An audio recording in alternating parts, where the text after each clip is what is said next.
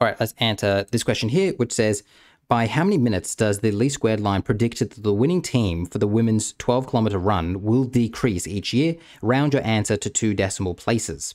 All right, what you really need to know is that this right here is a description of the slope. So if you can read that and say, hey, that is describing the slope, you're golden. That's what you need to recognize. That right there is describing the slope.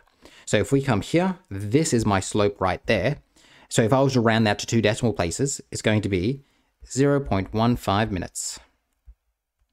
So just being able to read things off and understand what they're describing is very important. The correct answer was 0.15 minutes.